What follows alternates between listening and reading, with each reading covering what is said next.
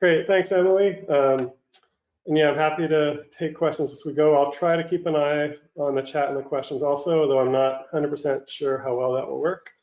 Um, so you know, feel free, Emily, to interrupt me if it looks like I'm missing something.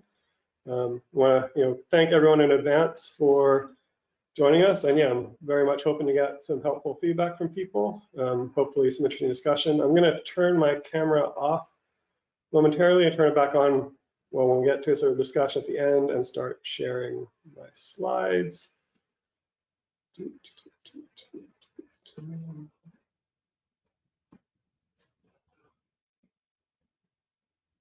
Oops. So yeah, just to start, so um, as Emily mentioned, I work for NOAA Southwest Fisheries Science Center. Um, also, you know, some of this, or pretty much all of the stuff I'll be talking about today is informed by time I've spent on the Scientific and Statistical Committee for the Pacific Fishery Management Council. Um, but just to be totally clear, I'm in absolutely no way speaking for either of those organizations today. Um, I've also gotten a lot of helpful feedback on some of these ideas from various members of the Pacific SSC. Um, so a lot of the good ideas are probably attributable to somebody else, but uh, the errors and omissions, faulty logic, all that is probably all on me.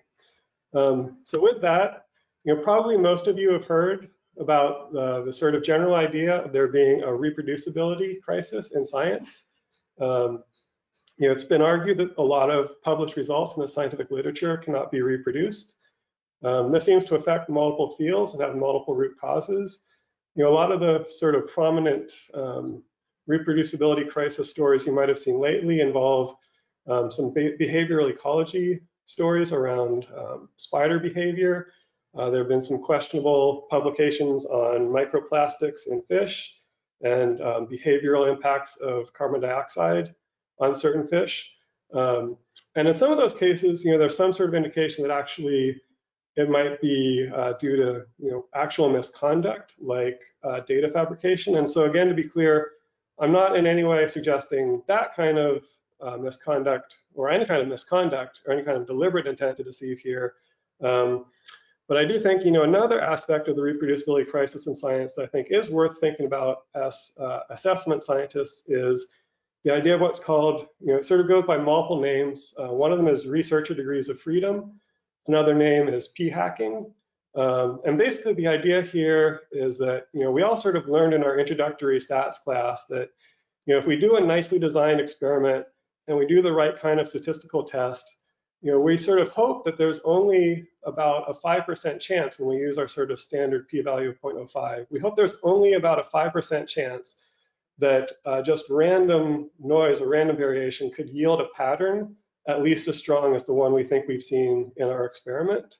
Um, and you know that's sort of great in theory. Um, a lot of you may be Bayesians, I am too, but I still think you know p-values do have uh, use as a tool, you know, in the sort of context of well-designed experiments. Uh, but where we can get into trouble is where people start doing multiple tests, or if they collect data on multiple response variables and or multiple potential drivers, and then just keep doing tests until they find one that pops out as statistically significant. There's also uh, the problem of what's known as hypothesizing after results are known. So sort of picking your test after you've seen what the data is going to support.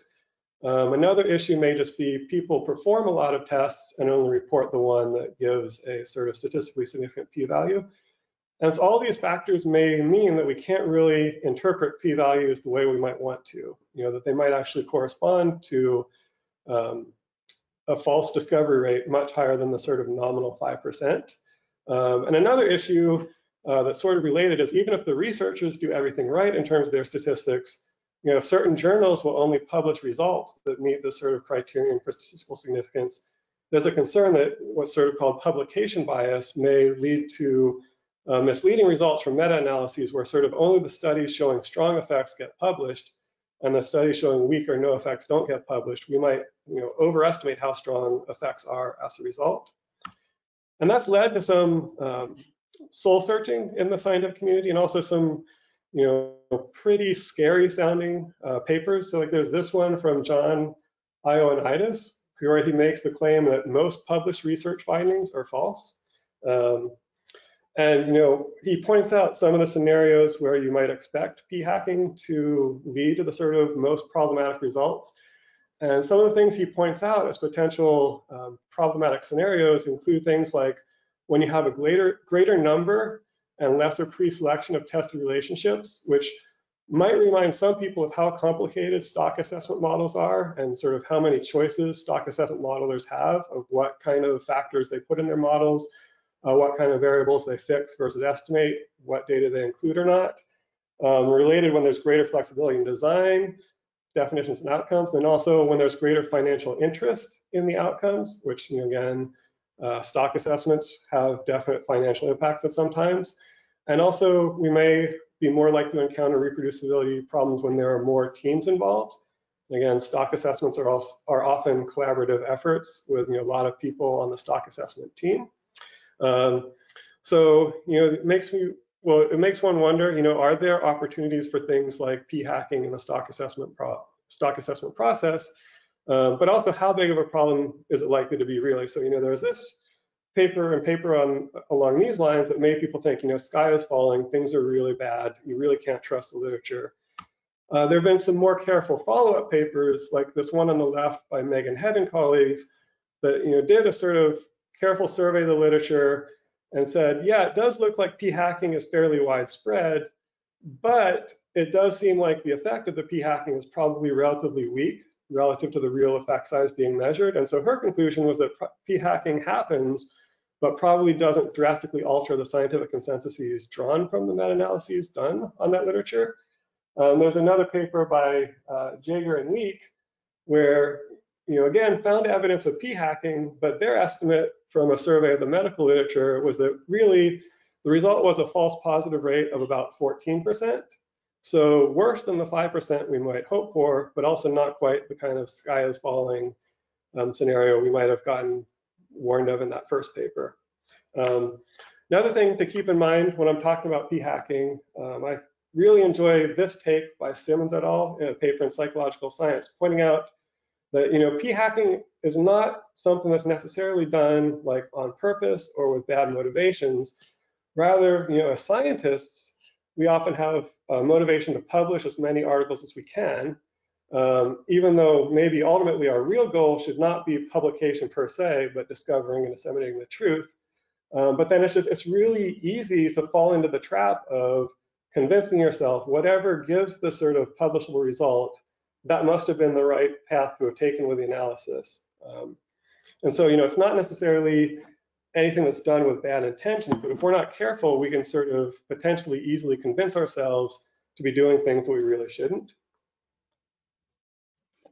And so related, so the question of, you know, what is the motivation of ac academic scientists and, you know, what ultimately are they tasked with doing? And I think we can ask sort of a similar question as either stock assessors or people tasked with reviewing stock assessments and or managers, you know, sort of in charge of implementing the stock assessments. Um, what are our goals and, you know, what kind of motivations might we face that we need to be keeping in mind? And so sort of akin to the pressure for academics to publish what you might call statistically significant results, managers may face incentives and pressures to sort of consider what are the management consequences before accepting and using a particular scientific product. Um, and so a lot of this talk, I'll be talking about uh, scenarios inspired by the Pacific Fishery Management Council, and in particular, the way they prioritize, review, and adopt uh, stock assessments for groundfish. And it's really not my intention to single out the PFMC or their groundfish process as being more problematic than others. in fact, I think it's probably um, one of the better processes, but rather it's just the PFMC is where I have a lot of experience. And then groundfish has enough assessments going on and does it with sort of enough of an established process that it might actually make sense to talk about sort of large sample expectations. And you know, there is sort of a fairly reproducible process that you might be able to come up with a somewhat uh, defensible but tractable model of. Um, and so, you know, while I'm going to focus on groundfish, you know, I can certainly point to examples from other fishery management plans within the Pacific as well. Um, I was involved in a review of a recent anchovy assessment where there was um, a lot of um, debate and discussion about just the inclusion of a single point from a survey that people thought was an outlier and that it was an outlier on the low end, and that seemed to cause much more problem or you know much more concern amongst the re some reviewers than would an outlier that was um, in the other direction. Um, personally, I work on salmon for the most part in my day job. Um, in Sacramento winter Chinook, we use minimum size limits to try to um, reduce impacts on this endangered Sacramento winter Chinook, which tends to have a smaller body size than other Chinook it co-occurs with. Um, we're only able to estimate harvest impacts from tags we recover from fish that are landed for sampling. And so that poses a real challenge where if most of the fish are too small to retain, we'll never see their tags. Uh, we try to get around this by applying an expansion factor to the recovered tags based on you know, what fraction we expect to be landed.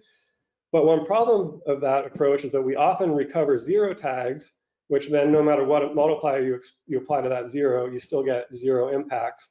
Whereas every once in a while, we will get a tag which has a huge multiplier that people just throw out. It's like, that's implausible. Impacts can't be that high. And I think we're probably getting biased estimates out as a result of that. Um, the Klamath Ocean Harvest model, there have been a lot of concern about it over predicting effort in certain areas um, compared to, I would say, less concern about the fact that it's actually underestimating the actual harvest rate of Klamath fish that seems to be the main purpose of that model. And then in the drift gillnet fishery, we again use a ratio, or we used to use a ratio estimator, sort of similar to the tag expansion for Sacramento winter Chinook, trying to estimate how many interactions we had with protected species. And again, when the output was a zero, and then you applied a multiplier to that zero, that didn't seem to cause people much concern. But when we occasionally do have an observation that then gets a large multiplier applied to it to account for only partial observer coverage, um, that tends to cause more concern um, and led to actually the development of a more sophisticated model that did not depend on that ratio estimator. Um, but for the rest of my talk, I'll be focusing on examples drawn from the groundfish fishery. Um, but then also, you know, so not singling out the PFMC, and also I'm sure this happens in other, not just regions within the United States, but also other countries, but I just don't have the same level of familiarity there. Um, so just a sort of quick crash course in what the PFMC groundfish assessment does or is hoping to do, is supposed to do. And so there are many more species of groundfish in the realm of the Pacific Fishery Management Council, which this is the entity responsible for management of federal fisheries off of Washington, Oregon, and California. And so there are many more groundfish stocks than we can feasibly assess each year or even sort of each two-year assessment cycle. And so as a result, we go through a process each cycle where we select which stocks are we going to try to assess this cycle. Then a stock assessment team develops a model. A STAR panel or stock assessment review panel reviews that panel or reviews that assessment and may propose changes to the assessment uh, structure. Then the scientific and statistical committee reviews the modified assessment coming out of that STAR panel. And then typically acting on the SSC's recommendation, the council will adopt the resulting stock assessment. Um, in some cases, the um, there may be a few problems identified that can't be resolved during the course of the STAR panel. So the assessment may get set, sent to a sort of separate mop-up meeting. Um, also fairly rare, but certainly happens sometimes that there will be further revision of an assessment at the SSC review stage. And so one thing to keep in mind is because there are many more stocks than we can assess, each time we choose to redo an assessment, either within a single cycle or sort of rapidly redo it the next cycle, that means there's some other stock that we're not going to assess. Um, the things that the assessments produce and how they're used, um, one big one is status, or what we call depletion, which is an estimate of the current biomass compared to the unfished biomass. There's the overfishing limit, which is you know the maximum amount of fish we can remove without overfishing. And we typically assume that this has some true but unknown value, and we make just our best estimate of what that limit is or should be. And associated with that OFL, we have a measure sigma that's meant to capture the scientific uncertainty in what the OFL is. Uh, we use the OFL and sigma to derive an acceptable biological catch, which is an amount of allowable catch that's reduced somewhat from the OFL to account for the scientific uncertainty. And we do this via the choice of something called P-star, which in an ideal world represents the probability that the ABC we choose is larger than the true but unknown OFL we would have come up with if we had perfect knowledge. Um, to so, sort of show graphically what this means is, so we'll do an assessment, um, come up with our current exploitable biomass, that's the BEX in the top right here. Um, and we'll determine our OFL by multiplying that exploitable biomass by the exploitation rate corresponding to MSY. And it's one thing to remember that I'll um, revisit in a little bit is um, when the biomass is large relative to MSY, so like when it's close to the unfished level, that actually results in an OFL that is um, higher than the long-term MSY. You know, it's sort of we're saying it's okay to harvest at the maximum sustainable rate, even if in the short term that means harvesting an amount that's not sustainable. Uh, that said, you know, first of all, we do do projections that take into account the expected depletion, so it's not as if that unsustainable MSY is locked in indefinitely or until the next assessment.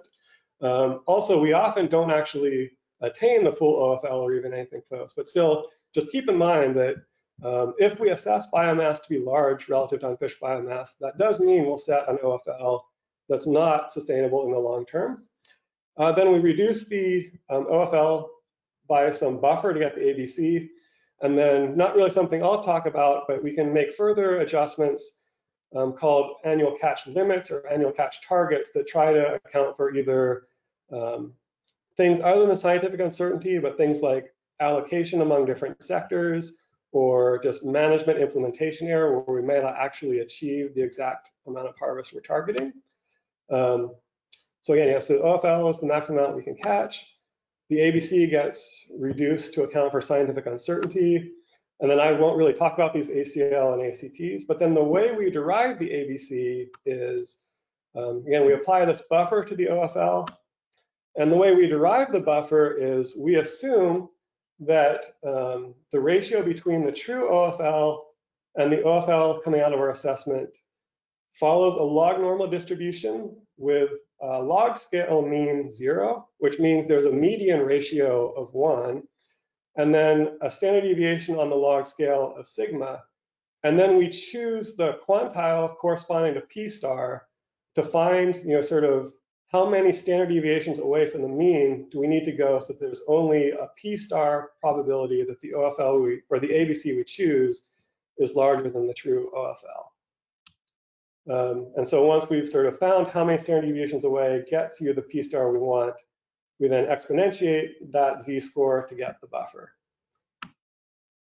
Um, and so, you know, when we're putting this in practice, you know, I think one thing to keep in mind is what are we trying to achieve in fisheries, or in particular, at least, what are the scientists advising on fisheries?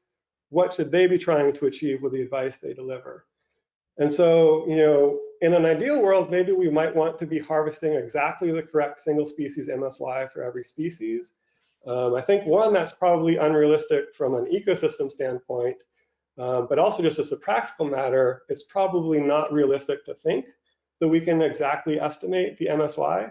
Um, but you know, similarly, I think it's also unrealistic to think we're going to prevent all cases of biological overfishing. You know, so there may well so you know, there are certainly are systems where we avoid what is sort of legally defined as overfishing. We can avoid catching more than the OFL we establish, but I think we need to accept that, you know, some of the OFLs we, we come up with are going to be too big. And that's just sort of, you know, something we have to deal with. And that's sort of the motivation behind the OFL being buffered down to the ABC. Um, you know, I think in an ideal world, we'd actually probably want to be achieving a multi-species optimal yield. Um, that's great. Um, do we have a shared definition of what the factors that go into optimal yield are? And do we know how to achieve that? Probably not yet. Um, and so as a result, you know, at least sort of my straw man is that what scientists advising on assessment, what, what we should be aiming for is coming as close as we can to having a system where there's a P star probability that harvesting the ABC for any given stock will result in biological overfishing. Or in other words, you know, if we do a large fraction of assessments, we expect that a fraction P star of them will come out with ABCs that are higher than they should have been if we perfectly could estimate the OFL. Um, and in the PFM, PFMC context, we usually default to a P star of 0.45. Um, so, you know, sort of in some ways similar to this sort of standard of using P of 0.05 in a lot of statistical analyses. Um, the PFMC will use, will use P star of 0.40 in cases of heightened precaution. Um, they've considered but never used smaller P stars like 0.35. Uh, ICES Atlantic Salmon has an approach that's maybe loosely like P star of 0.25.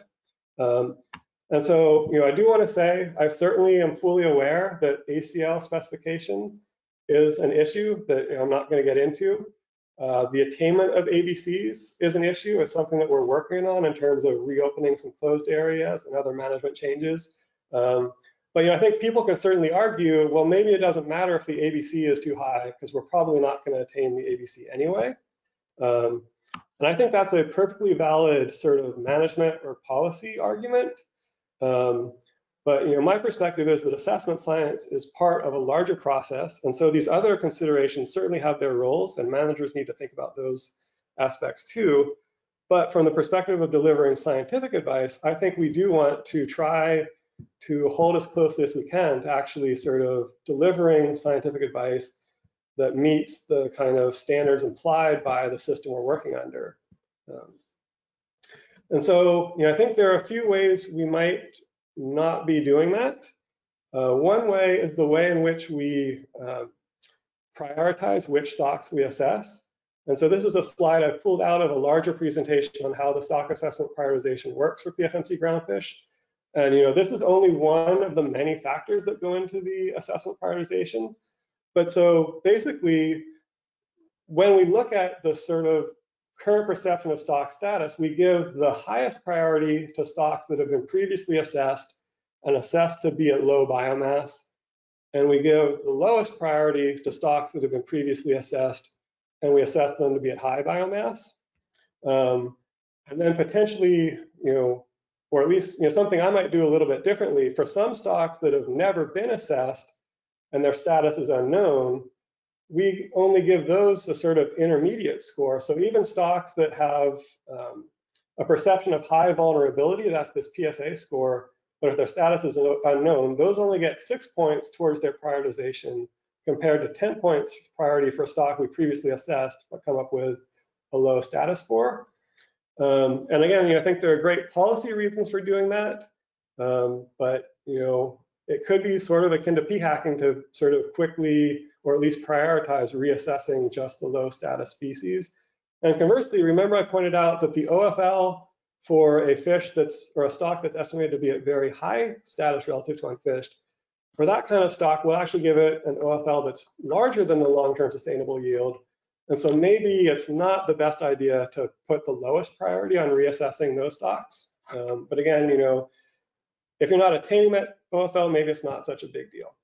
Um, Another consideration is it seems like we may sometimes be applying different standards of proof um, depending on what the outcome of an assessment is. And so this is a very uh, involved flowchart that you don't need to fully follow uh, that was sort of proposed back in 2013 when the Pacific Council was first considering the use of what we call data moderate assessments. And so these are assessments that don't include all the same data sources that would go into what we would call a full assessment.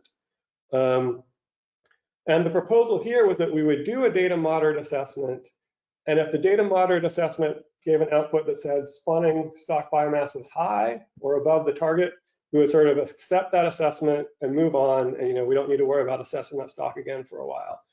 Whereas if the status coming out of this data moderate assessment was not so favorable, it would set up a lot of complicated choices that basically said, at the very least, prioritizing reassessing that stock again. Um, and so, you know, having that sort of asymmetric standard of proof, depending on whether the news is good or bad, uh, might have some analogies to p hacking.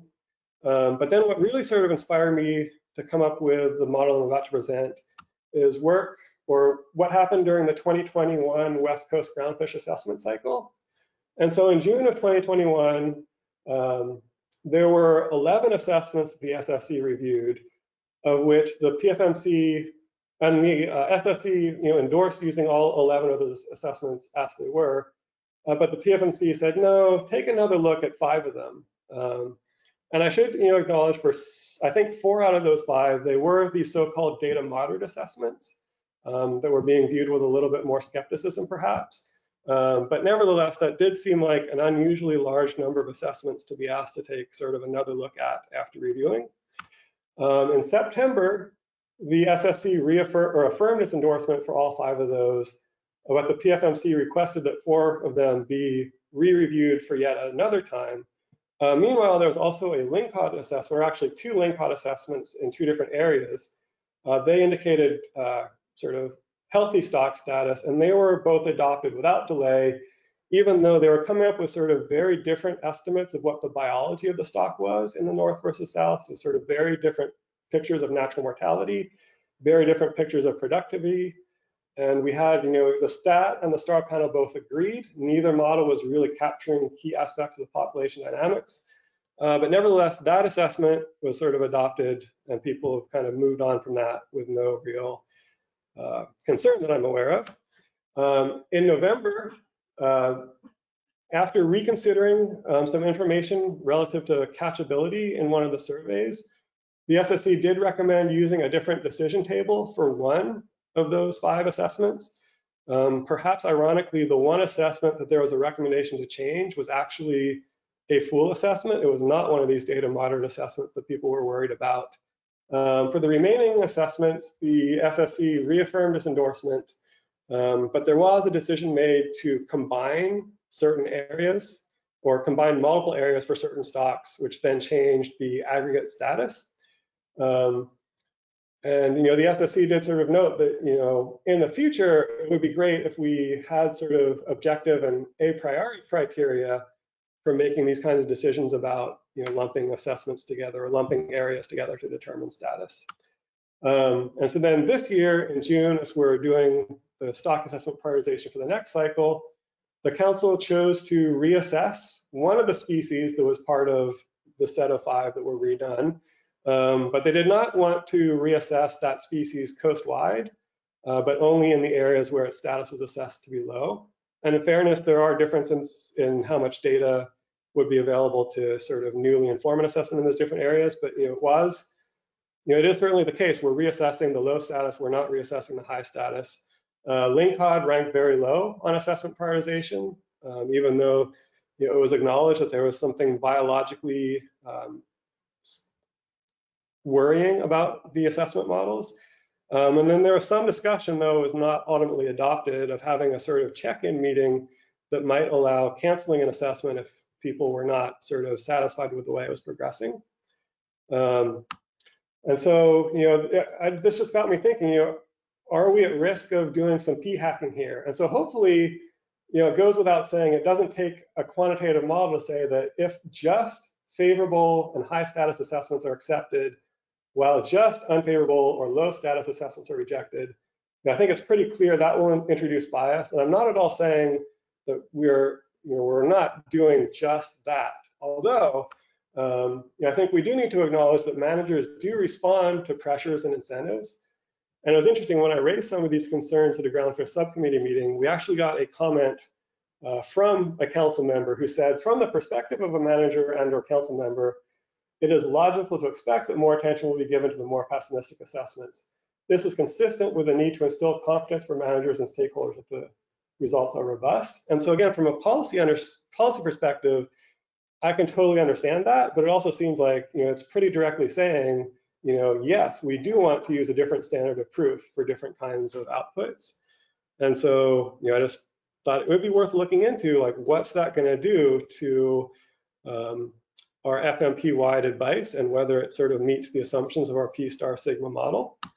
Um, you know, I should also say, so not just managers, assessors and reviewers are also responding to these sorts of pressures. You know, an assessor may want to avoid going to a mop-up or having to redo their assessment. Uh, reviewers may be happy to just get things over and done with. Um, conversely, you know, the opposite might be true. An assessor might get really dug into their way of doing things. Um, a reviewer might just you know be very skeptical and um, not inclined or might be sort of pessimistic and not inclined to accept really favorable assessments. Um, but you know, regardless, I think you know, thinking back to the warnings about you know sort of unintentional p hacking, we do need to be worried. We need to be careful about are we ever sort of constructing post hoc reasoning to support whatever outcome works out the best for us. And also, if we do sort of decide to redo an assessment, do we need to be careful not to sort of make directed requests where we only request the sort of changes we think will either improve or decrease status depending on what sort of our motivations might be. Um, but then also, so even if we are you know, doing a really good job of weeding out the less accurate assessments, not because they are too pessimistic, but just because we're actually able to tell these are the sort of more problematic assessments. And even if on average, by redoing those assessments, we improve them, could we still be sort of creating a bias through some process kind of analogous to p-hacking?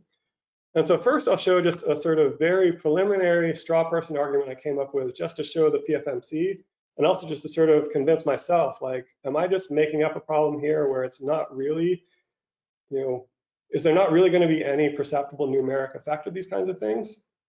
So let's just assume we start out with a set of what we call category one assessments. These are the full assessments that include the most sources of data. And so let's assume that those are me median unbiased. So on the log scale, the ratio between the true and the assessed OFL will follow this nice log normal distribution with median zero and sigma of 0.5. That corresponds to a log normal distribution on the arithmetic scale with a median of one and a coefficient of variation about 53%, and then a 45th percentile or p-star buffer about 0.94. Okay, so now suppose we're actually able to really skillfully select out which are the assessments that are doing the worst job and that are underestimating biomass by the largest amount. So we take away sort of the right-hand tail of these distributions. And so for now, that leaves us with a you know, distribution that's no longer symmetric on either scale, um, and it has a different median and a different sigma. And if we then assume that when we redo these assessments, we do it in an unbiased fashion with the same sort of overall accuracy we had before, we can model what happens if we add those back in. And so we now get this kind of skewed log scale distribution which now has a negative median and a slightly larger sigma, or slightly smaller sigma, which means on the arithmetic scale, we now have a median about 0.9 and a coefficient of variation about 40% rather than the old 53%. And note that the 45th percentile buffer has now moved down to 0.85.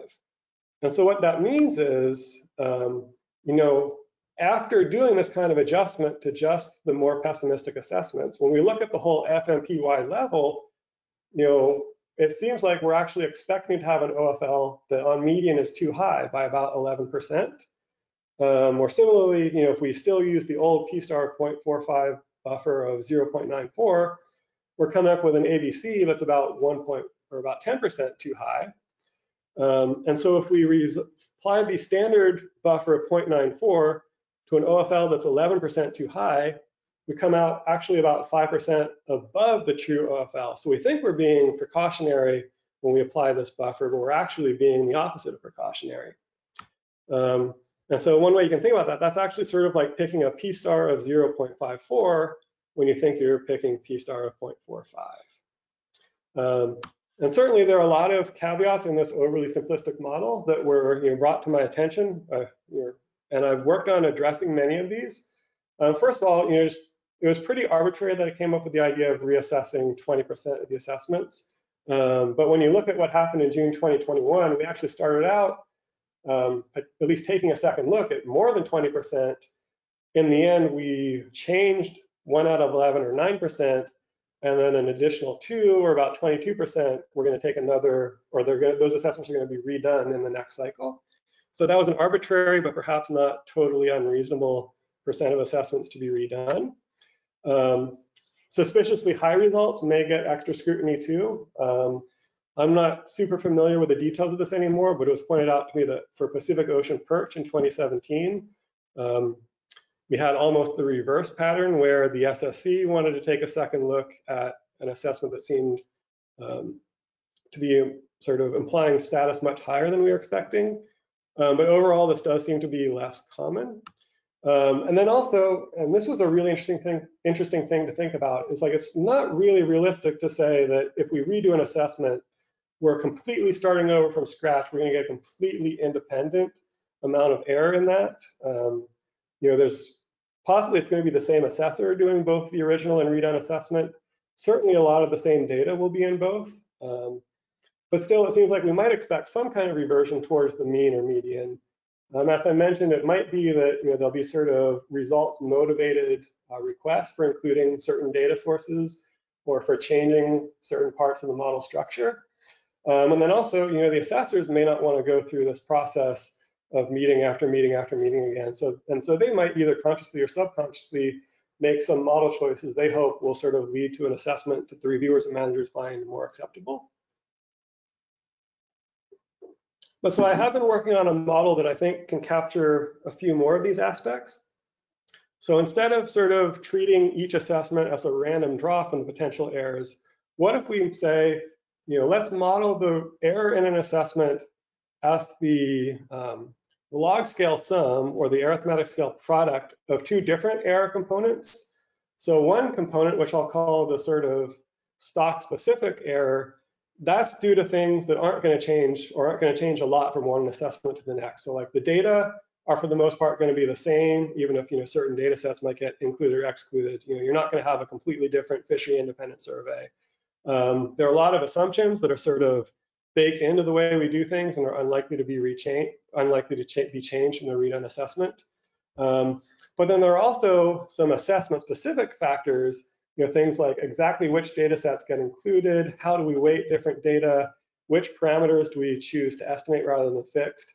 And so these sorts of things, I think potentially will get redone when there's a new assessment. And so I think there's sort of, it might make sense to model the error as one component that um, is static when an assessment is redone and another component that's redone. And so for what I'll show today, I sort of wanted to work on the assumption that we know the overall level of uncertainty. That's the sigma we've already adopted. And so if we assume that the total error is described by that overall sigma, then we can use the equation for the sum of variance to come up with, okay, how do we solve for um, different levels of sort of intrinsic stock specific variance and then um, assessment specific variance that will sum together to the same overall level of uncertainty. Um, and then if we want to simulate a system where we assess a bunch of stocks and then reassess only some of them, the way we can simulate this is do a bunch of simulated assessment outputs where for each stock, we draw the stock specific error term only once, but then we draw this assessment specific error term once for the first pass of the process, and then redraw it for any assessment that we model being redone.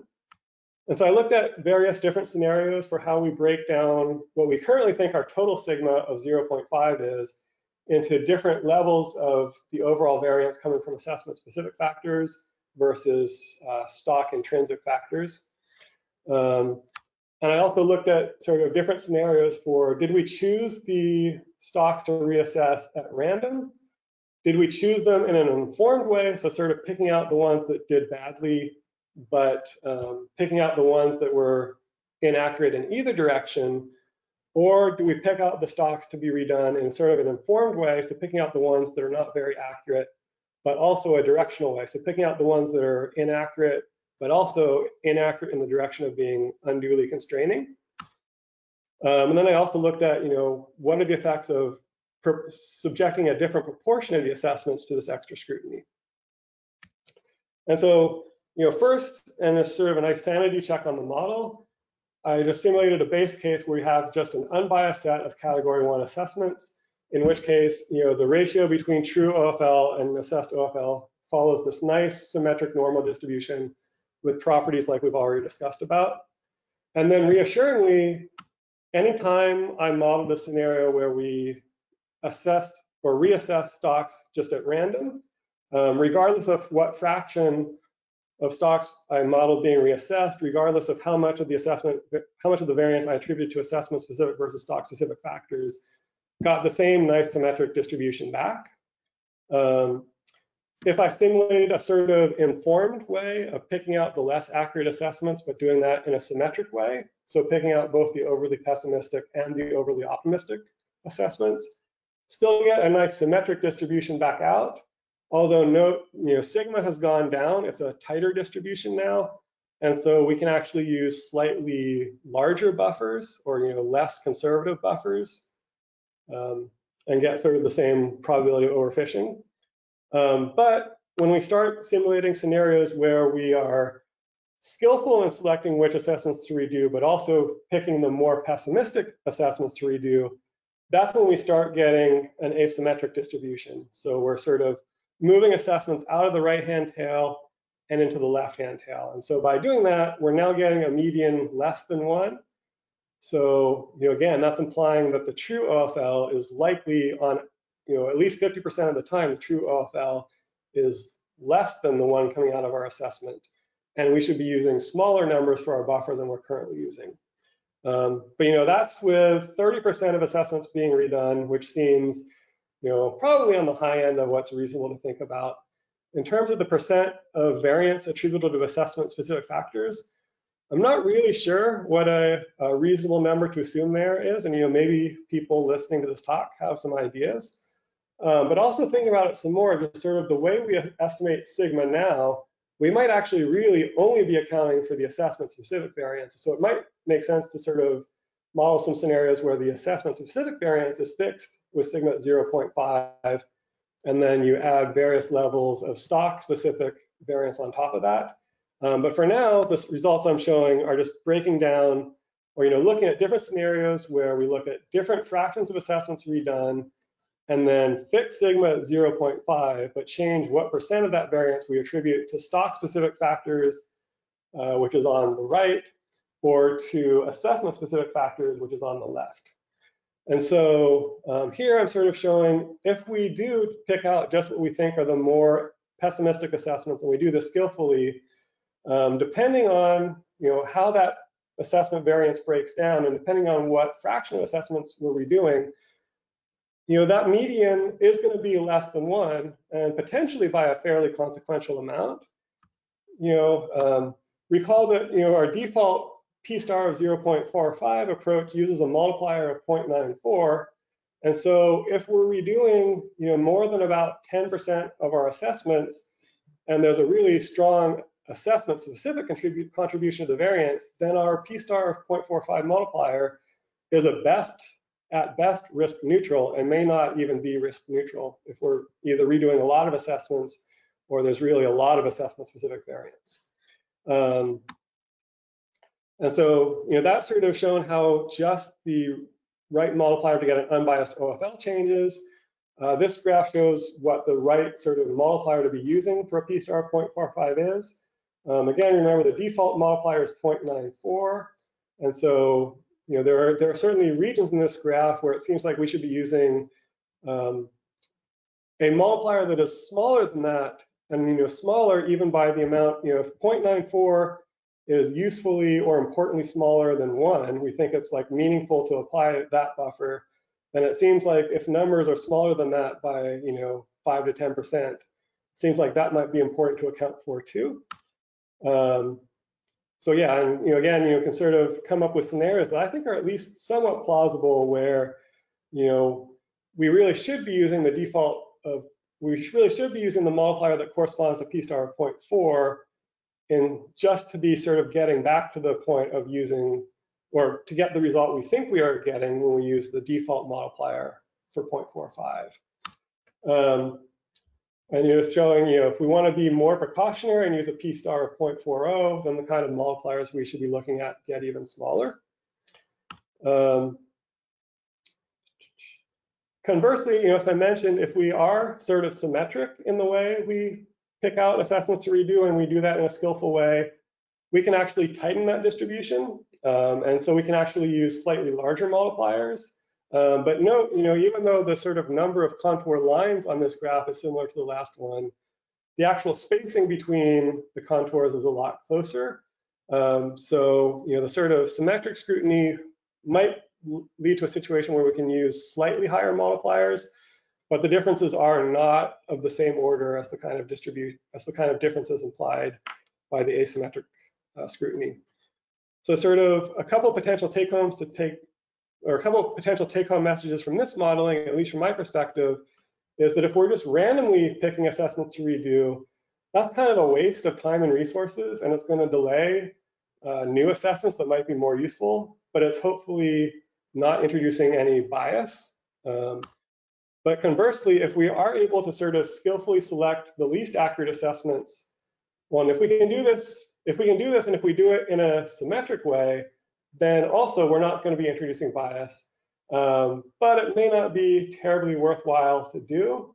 You know, we can use a slightly higher multiplier when we go from AB, from OFL to ABC, but it's you know not very big change. Um, I guess we can also say you know that might be a good thing that, that, that some individual assessments are being improved, um, but are we really benefiting that much from doing so? Conversely, if we're able to skillfully select the assessments that are underestimating OFLs by a large amount, then it seems like that will lead to a bias in the FMP-wide distribution of OFLs. And so that suggests that, you know, if more than about 10% of assessments are being revised, that, you know, that probably does change the multipliers we should be using by sort of an appreciable amount, or, you know, by an amount that's comparable to, if not even greater than the amount of change that corresponds to the choice of P star of 0.45 versus 0.40. Um, and I think, you know, in practice, I think we're somewhat skillful in identifying the less accurate assessments, but there's probably, we're not perfect at that. So we're probably in practice somewhere in between the sort of random selection scenario and the skillful selection scenario. Um, you know, which leads me to think like, you know, maybe it's actually not a huge problem to sort of redo problematic assessments every now and then. Um, but it seems like we need to be doing this, you know, pretty judiciously. Um, and I think ideally we should be making sure that we're applying the same kind of scrutiny to what seem like potentially overly optimistic assessments as well. So sort of, you know, circling back to those very first few papers I showed on p-hacking, you know, it seems like, you know, the sky wasn't quite falling in the scientific literature quite to the extent that some people thought early on. Um, but there were sort of non-trivial impacts on uh, meta-analyses and that type of thing. And so I think we may be in a somewhat similar situation here where I don't think the sky is falling based on our current approach to prioritizing assessments and redoing them. Uh, but maybe we do need to be a little careful about not getting into a situation where we are causing real problems in terms of FMP-wide bias. And so, you know, thinking about potential solutions, you know, if we think about how has the broader scientific community responded to concerns about p-hacking, um, you know, there have been a few things proposed. One is, you know, that people just really need to have clear a priori hypotheses, um, both when they design studies and then when they select candidate covariates for their statistical analyses, and that people should be transparent in how they choose the statistical models they apply and what sort of significance criteria they will use.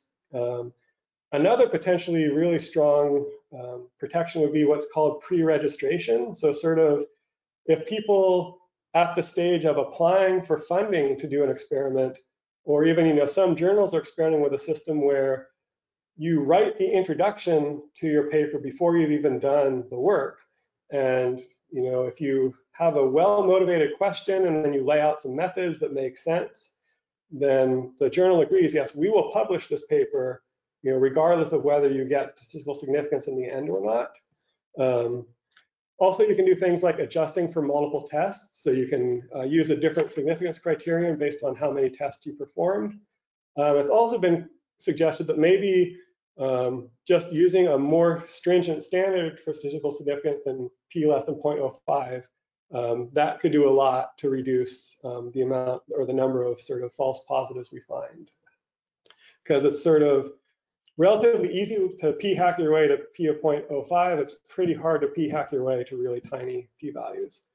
And so somewhat relatedly, um, you know, thinking, are there sort of analogies to each of these in the assessment process? So, you know, could we sort of, like sort of similar to the having of a prior hypotheses, should we do a good job of not just selecting stocks, but then the boundaries between stocks and which data to include, and then what the standards we're going to apply in our review. Can we sort of select all of these things in advance rather than adjusting them based on what the management implica implications of the assessment outputs are? Um, think we need to focus on what's the scientific support for different mo models or different model approaches, not the management implications of those models. I think we want to be sure don't adopt a system where we sort of pull the plug or stop an assessment partway through if it looks like it's going to give an unfavorable result. Um, but then I think you know there might be some merit in using something sort of like that model I showed. You know, probably um, something a little bit more sophisticated. But can we come up with a way that just sort of says, okay, we can keep on, you know, singling or remanding some assessments to take another look at. But depending on how often we do that, we need to make some adjustment to the buffers we use in, in implementing this P-star sigma system. Um, and then sort of similar to this idea of just accepting a more stringent p-value than 0.05, should we have just, can we establish just really stringent standards for what, what conditions need to be met before the SSC or whatever review body will agree to reviewing or to taking another look at sort of a redone assessment, but then also for prioritization, should we have really stringent standards for what, you know, what level of priority do we need to have to say, reassess this stock right away versus assess some other stock that's in need of assessment and hasn't been looked at in a long time. Um, and so I do have a few more slides, but I thought I'd just sort of pause here if there were, at this point, any questions or any brief discussion points anybody wanted to bring up. Um, but if not, I'll just sort of plow on and we can hopefully discuss a little bit more at the end. Um, but at least on my end, I'm not seeing any questions or chat. I don't know, Emily, if you can sort of confirm I'm seeing or I'm not seeing what I should? I'm not seeing anything at the moment. Great, okay. so, um, you know, on the sort of idea of coming up with these standards for redoing or revising assessment, um, I recently came across, apparently the New England Fishery Management Council um, apparently uh, had a practice of sending quite a few assessments back for reconsideration. And so that actually led to a scenario where the New England Fishery Management Council and their SSC established a fairly restrictive set of rules that says we're only going to take another look at an ABC if one of these four criteria is met. Um, and interestingly, you know, criterion one here, the failure to follow terms of reference, is actually something that um, would not have applied, well, none of these would have applied, I think, to any of the assessments the Pacific Council asked for a second look at this last cycle. And in fact, one sort of sticking point with those data moderate assessments was that there were data that some people wanted included in those assessments, but including those data would have been against the terms of reference for data moderate assessments. So it's sort of the opposite motivation here that rather than there being a problem that the terms of reference weren't followed, um, the problem in the Pacific Council was actually uh, the council was not happy with fo having followed the terms of reference for those particular assessments.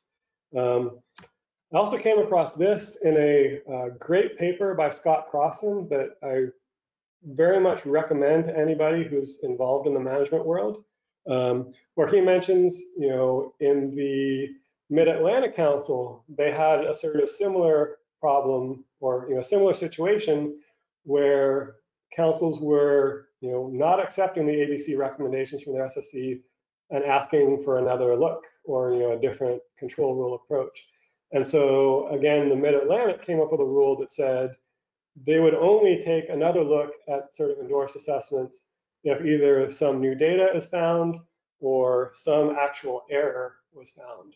Um, and I kind of wish I had read this paper before. Um, the 2011 or 2021 assessment cycle that I was part of, because that might have led me to um, some better proposals for a situation we found ourselves in, where, so circling back, so in June of 2021, um, when you know the Pacific SSC had endorsed all 11 of these assessments, but in September, the SSC was asked to take a look at them again, and the SSC said again, we endorse all five.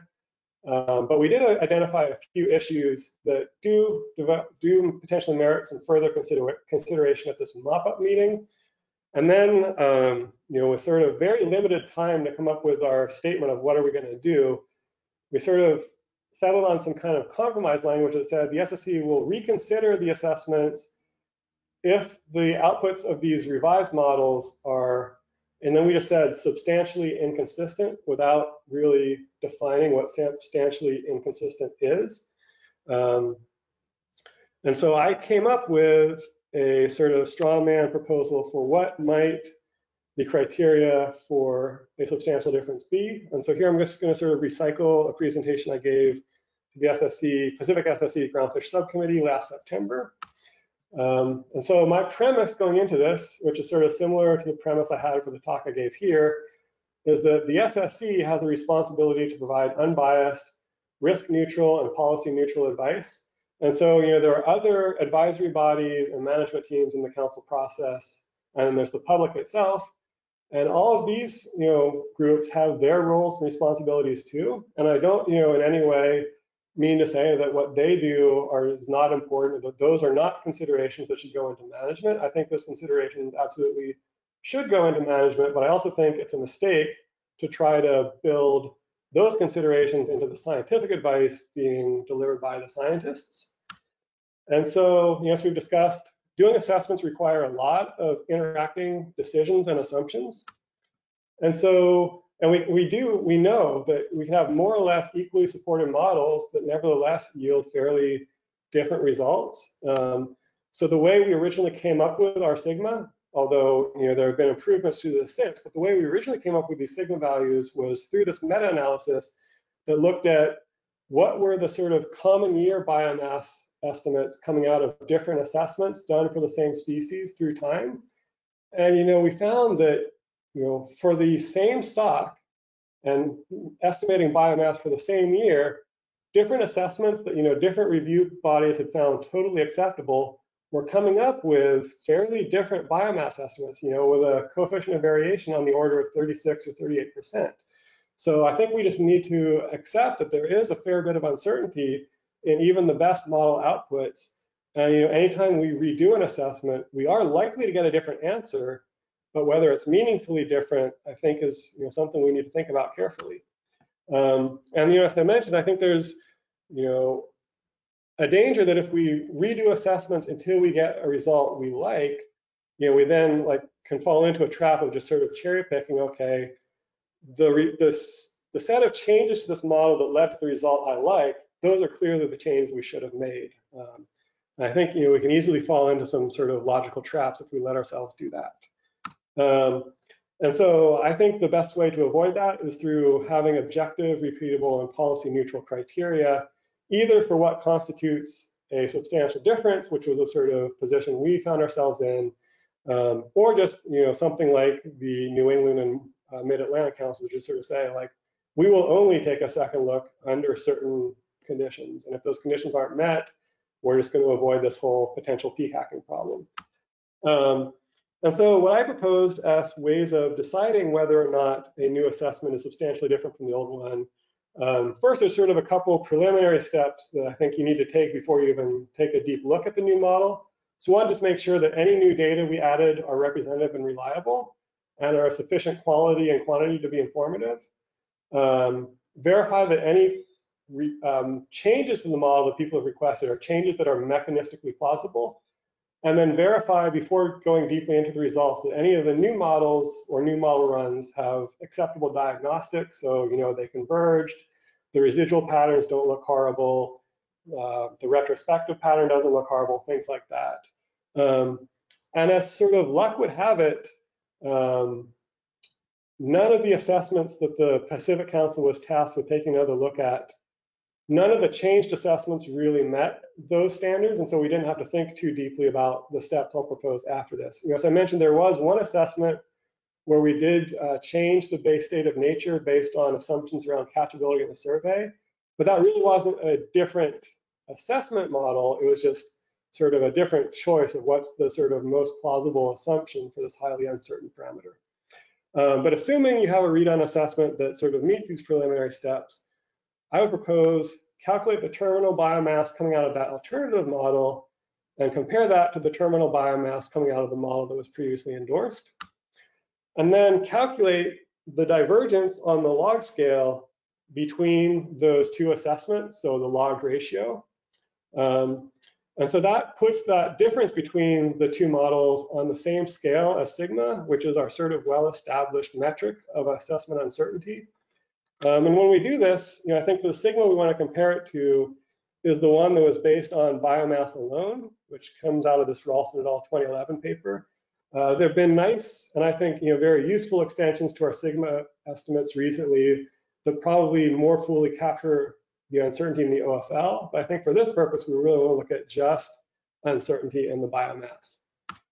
And then my proposal is, you know, once we have the difference put in the sort of same scale we can use to compare with sigma, then ask ourselves, um, if the difference between the original and redone assessment is smaller than sigma, then you know that's well within the expected level of noise for accepted assessments.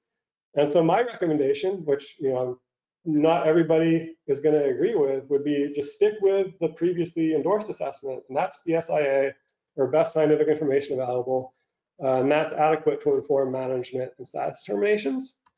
And then um, my recommendation, which you know even I'm a little fuzzy on, is like, okay, let's say that the difference is a little bit bigger than sigma, but it's smaller than two sigma. So I would say that's you know somewhat unexpectedly large level of divergence, but it's not an extreme level of divergence. And so you know maybe I always say like don't throw out the old assessment. You know that old assessment is still best available science. It can still inform management. Um, and maybe you don't want to use it to inform status if you, you know, take in what are the policy consequences of getting status wrong in each direction. Um, and maybe you want to prioritize a full assessment in the next cycle. Um, whereas, you know, if the new or redone assessment differs from the old one by more than two sigma, I think that's a pretty large divergence where that really does cast doubt on the original assessment.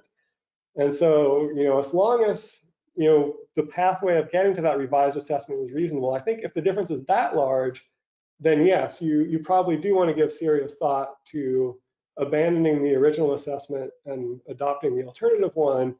And I think you do want to prioritize, you know, carefully doing a full assessment of that stock in the next cycle. Um, but I think also, you know, a difference of two sigma, hopefully you're not going to encounter that terribly often. And if you do encounter that, um, then you know I think you do, you do have some real concern.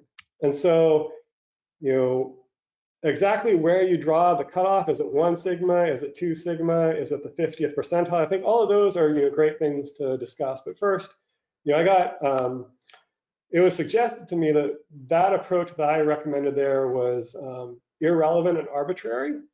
Um, and I can certainly see why somebody might say that, but then I think my counter argument would be, well, I mean, in terms of you know, arbitrary, I think biomass is probably the most fundamental output of an assessment. So looking at biomass uh, seems like a pretty logical thing to do from my perspective. Um, and you know, the sigma values that we come up with for biomass, at least for our category one assessments, know, that did come from a pretty thoroughly reviewed meta-analysis that was, you know, more or less replicated when people made an attempt to update it.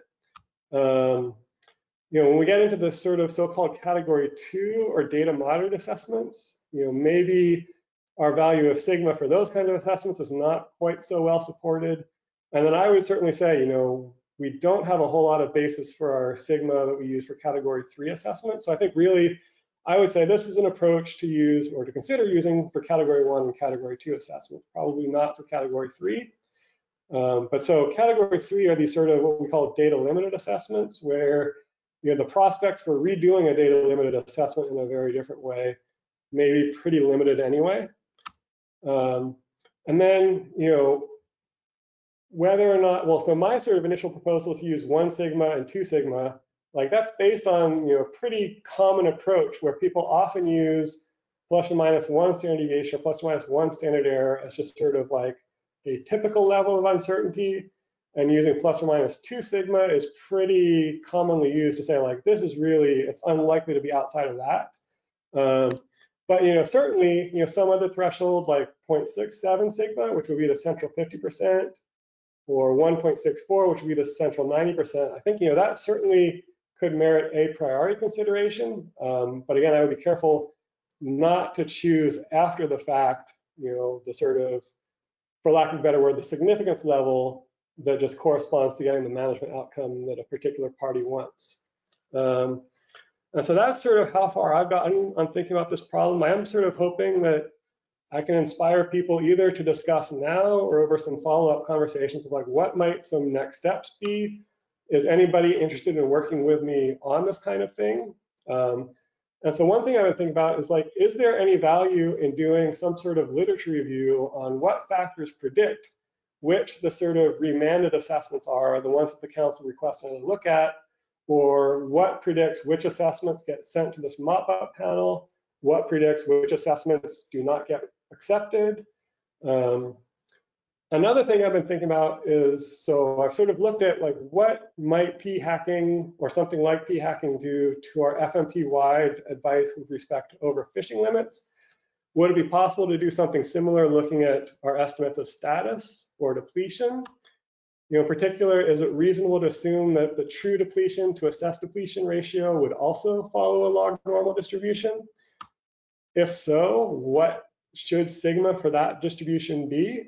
Um, it might be larger because now we have uncertainty not just in our estimate of current biomass, but also the estimate of unfished biomass that we're comparing it to. It might be smaller if there's correlation in the estimate of both the current and unfished biomass, or it might be similar if those two factors sort of luckily cancel each other out. I'm also wondering, you know, if you've looked into the literature at all around p-hacking, you might see the use of approaches like funnel plots or p-curves, where basically people look at, you know, when you look at the literature across a field, do you see a lot of test statistics that are piling up right at that critical value? Uh, which could be suggestive of either publication bias or some sort of, you know, uh, multiple testing or p-hacking type approach. Um, and so, you know, could we do something similar looking at do our estimates of depletion tend to pile up right around either the biomass target or right above the threshold for being overfished? Um, but I think, you know, one caveat we would need to keep in mind if we did that sort of analysis is, is it actually sort of is that exactly the pattern we expect to see if management is successful? So we sort of expect successful management to drive biomass towards the target, and we sort of expect successful management to be reactive and drive biomass above the overfish threshold if it gets too close to it. So I'm not sure if like a sort of P-curve approach would really work. Um, and sort of similarly, you know, people have criticized some of these approaches for looking at p-hacking, saying, well, if people are actually doing a good job of doing preliminary studies and power analyses ahead of time, people should be choosing their sample sizes in such a way that you know they're not needlessly collecting too many samples. They're collecting just the right amount of samples relative to what they sort of think is a relevant relevant effect size and what they think the likely level of noise in their data is. So I think you know P curves are interesting to look at, but may not quite be the smoking gun we might hope for. Um, and I'm also interested in people's thoughts. You know, is anything that I've put out here sort of the basis of an interesting paper or you know something that should be distributed in some other venue? And if so, what might the appropriate venue or journal recommendation be? Um, would trying to publish this, should that involve developing the quantitative model further, building more things into it, or is it actually sort of more of a perspective piece that might be sort of a purely qualitative discussion that sort of talks generally about the issue and about potential analogies and sort of less focus on the quantitative modeling per se. Um, so with that, I'll say thank you to everybody and would welcome any questions or feedback. And I will turn my camera back on for hopefully a little bit of discussion. So thanks everyone for your attention. Thank you, Will. Um, I have a couple thoughts in the question box that I'll kind of read out. Um, Lewis Barnett says, really interesting analogy, and thank you. Um, Ian had to leave, um, but he said his sense is that the correlation between the original and the reconsidered assessment will be high unless you put in lots more work, i.e. new data, new authors, new methods. So getting uh, reconsidered results that are more independent from the original will lead to even fewer total assessments conducted. Um, and then, I don't know if you have any thoughts on that. Um, Jim Ianelli also has a question. I will see if I can unmute him.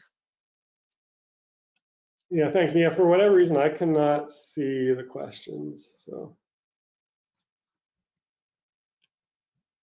But yeah, first, I think Ian's points, yeah, it's too bad Ian had to leave. I think, yeah, I, I would fully agree with that. Um, and yeah, but yeah, and so, I mean, that is, you know, even emphasizing even more that sort of trade-off of if we really want to redo these assessments, then we're really going to have to, you know, delay getting potentially really needed assessments for others. Um, yeah, Uh, think you said- Jim, I- Yeah, Jim, I think you should be able to unmute yourself. Yeah, thanks, Will. Re- really good talk, really pro- thought provoking. Um, one comment, just, um, you know, we're, we're in the best assessment paradigm through all of this, right? And I was wondering if you had any thoughts on, you know, more management procedure type approaches, management strategies.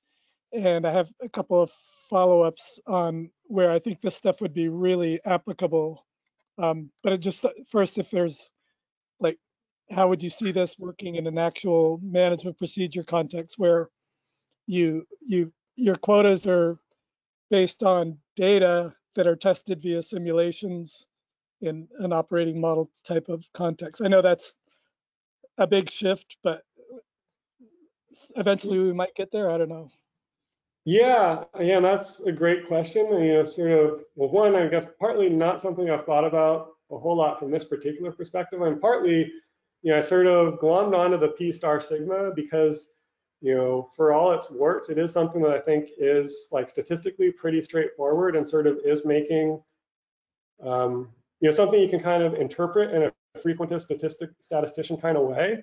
Um, so I just sort of thought it was you know, convenient place to start the model from. Um, yeah, I mean, in terms of how you would actually apply this to a management procedure approach, I'm not really sure. I'd be very interested to hear your thoughts. I mean, one thing I was thinking about earlier is, well, you know, sort of raising this p hacking concern of like, and also, you know, sort of, do we have more than a p star probability that our ABCs are too high? Um, maybe that's okay. You know, maybe it's okay to have a greater than 50% chance that our ABC is too high because we're unlikely to actually attain that ABC. And so, yeah, if there's some sort of way to build in, you know, sort of more realistic simulation of the whole process and say, we don't care if our ABC is too high or has, you know, more than 50% chance of being too high. We care if our reasonable expectation of what catch will actually be has more than 50% chance of being too high. Um, and so, yeah, maybe that could borrow something from the management procedure approach. But I'd be interested, yeah, if you have sort of thoughts on how this might sort of apply to like just, I don't know if you're thinking like sort of like decisions about how you structure your management procedure simulation, um, you know, how different stakeholders affect what gets built into an MSE versus what doesn't. Um, yeah, be really interested to talk more with you about that at some point. Yeah, if, if, if, if I can, I just um, share experience that we're having for, for a bluefin tuna, southern bluefin tuna, where management procedures have gone through two sets of enactment. So we've had two separate management procedures over the last decade. And in between, they set, they set up a procedure that's been selected based on kind of objectives that are broad ranging. But um, once they're selected, we do assessments in the intervening years. And those assessments involve exceptional circumstances. In a couple of slides ago, it felt like what you were doing there was coming up with a way is how far out is the most recent best assessment from the you know from the new one or, or vice versa and and so that's kind of an exceptional circumstance and requires action.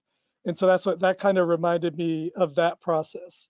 So just to reiterate they have a data driven tested management procedure that's in place. So everyone knows what's going to happen. It's very transparent. But in the intervening years a big test is to whether any new information is kind of outside the realm of what's was evaluated when the procedures were tested by simulation. So that's kind of the exceptional circumstance. So just I, just to explain a little more, the the operating model is conditioned on data, but has a lot of additional plausible complexity that you might not include in a best assessment context. Um, but you, you want to include that in testing a procedure to make sure it's robust to kind of crap that's going to happen. Anyway, I, I thought that was really cool and could be something that would be really useful in that context of, you know, your whole process of selecting or, or rejecting something because it's way outside the previous assessment. Thought that was great. Great, thanks, Jen.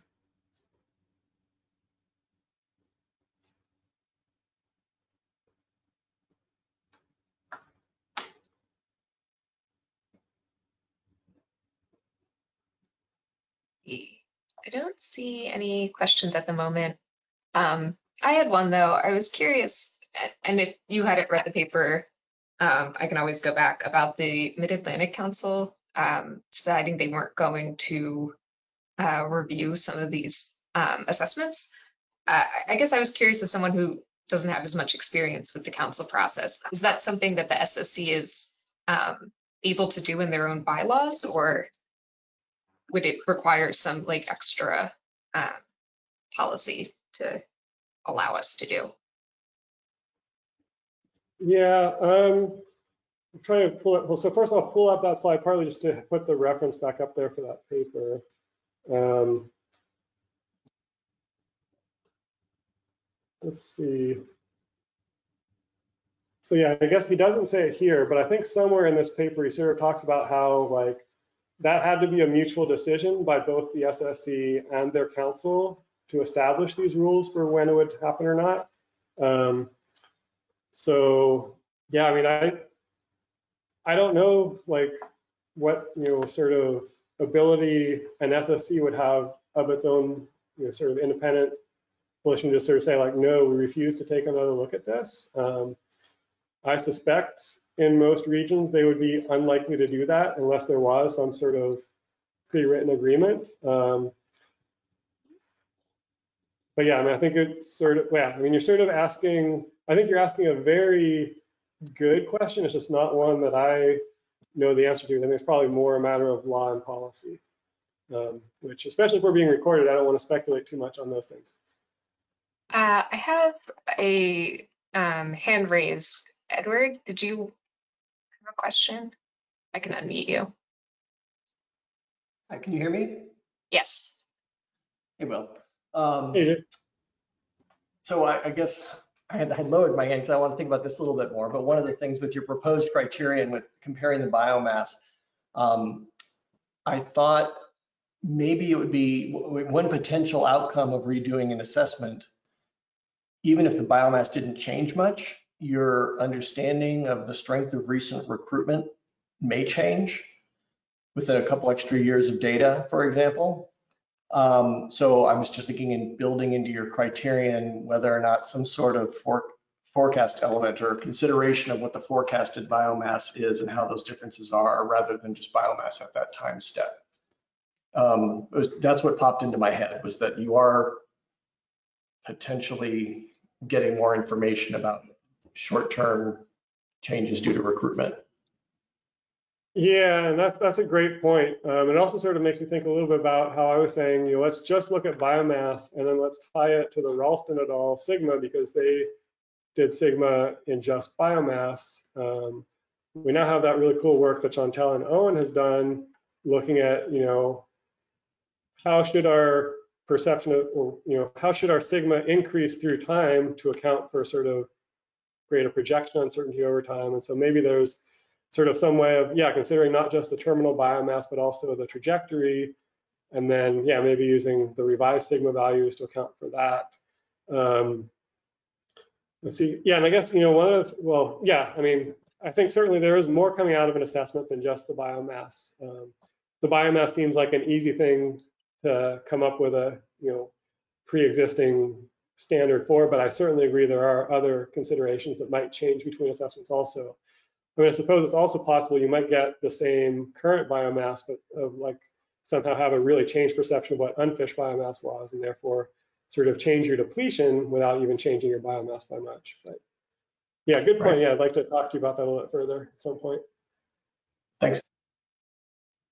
I have a, a question in the chat from Kristin Marshall. Uh, great talk, Will. How do you think the potential for revisiting assessments or requests for doing so might change with the shifting ocean conditions, stock distributions, et cetera.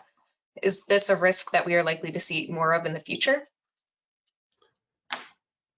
Hmm, great questions. Um, so I guess there's maybe sort of two aspects to how I might answer that. One is I think just are shifting distributions going to lead to more requests for redone assessments? Um, as sort of, you know, say, you know, species shift in or out of particular stakeholders sort of geographic range and they either get more or less fish as a result of that. Um, I can see there being calls to do or to do a new assessment to sort of capture either of those things. Um, there may just be concern about um, having reduced opportunity for fish moving away, and so wanting to sort of make sure that's really the case before accepting any reduction in opportunity. Can also see, yeah, there being calls that, hey, a bunch of fish have moved into our area, so we really need to redo this assessment so we're not being unnecessarily constrained on the high end. Um, but then, yeah, I mean, it's, it's sort of also need to think about like, um, you know, I've sort of been coming at this from this perspective of there may not be a whole lot of value in sort of redoing an assessment on the short term because, you know, what's really changed from one assessment to the next. If we get into a point of sort of really rapid environmental change, um, maybe there is a better argument for redoing assessments on a shorter time scale. Although, you know, sort of the trade-off Ian brought up just gets even worse then because it's sort of, there'll be a huge priority to do a lot of new assessments to account for a lot of species moving around. And so will we have less capability to respond to these changes in the environment if we're just re-busy, if we're just busy redoing assessments that we don't like the outputs of? Um, so yeah, thanks, Kristin. I have a, um, Lewis has his hand raised. I'm going to unmute you, Lewis.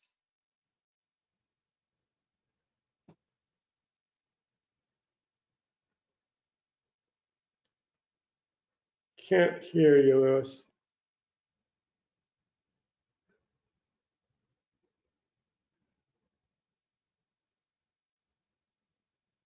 Are you hearing Emily? I'm not hearing anything. Yeah. Uh, in the meantime, Owen also has his hand raised. I'm gonna unmute him. Can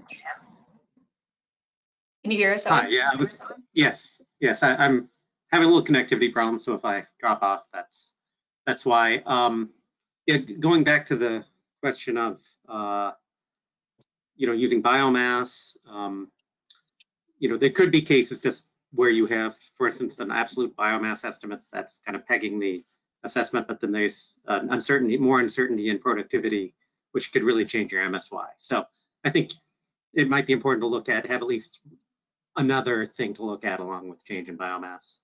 Um, in terms of environment, I think the sort of thing we see with some CPS where we also base uh, the harvest rate or the productivity based on environmental indices, you could have a case where the, that's changing rapidly, but the biomass isn't. And again, the change in the in the harvest rate or the uh, would change a lot, and the biomass wouldn't. So um, those are some things to consider as well. Yeah, totally agree. Thanks, Owen. Yeah, and I got to drop off for another meeting, but yeah, that was great. Thanks. Thanks. Uh, Lewis is gonna try typing his question. All right, and yeah, and I'm not seeing either questions or chat, so if you could read it, that would be great. Sure. How, how about my audio? Is it fixed now? Oh, yeah, hey. Oh, yeah. Okay, hey, well, yeah, great, great talk. Very, very thought provoking. Um, I had a question. I don't know if you can really apply it here, but I was curious, you know, as another case to go along with your, your random um, reperformance of assessments, Uh, you know, it, can you develop a base case where you you don't revisit any assessment? that's more consistent with where we're headed in terms of resources to review assessments and to conduct assessments. Yeah, I guess, so what does it mean to never revisit? You mean never assess the same stock ever again? I mean, partly, you know, one thing I've struggled with all along is like, what constitutes redoing an assessment? You know, is just saying it to a mop-up panel the same as rejecting it outright and either asking for a new assessment within that cycle or saying like, assess this right away at the next opportunity. Um, and that, you know, so those were sort of what I was thinking of as redoing the assessment. But like, yeah, I mean, what if we redo the assessment in four years? Like, that's some time for Yeah. things to have changed, but yeah. Um, Exactly. I guess you have to, you'd have to make some assumption about what's the status quo. We do revisit these assessments every whatever, two to four years. Um, so we're, we're already revisiting them in, in that sense, but without wholesale reconstruction of assumptions and, you know, major structural changes. Yeah, well, I think at least in the Pacific realm, there's sort of, it's not a hard and fast rule, but in general, like, we don't tend to accept projections more than 10 years out. So you can maybe, yeah, model something where we never reassess within 10 years. Um, That's for groundfish. I mean, CPS, we reassess more often than that. but, um, Yeah, interesting to think about.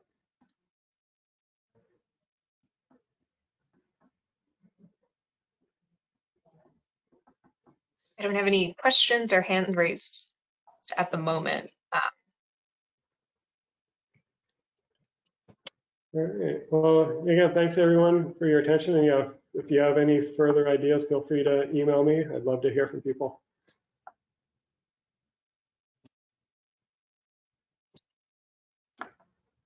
Yeah, so uh, there are no more questions. Thank you all for attending. This was a great talk, Will. Um, yeah, have a nice Tuesday afternoon, everybody. Thanks a lot. Bye.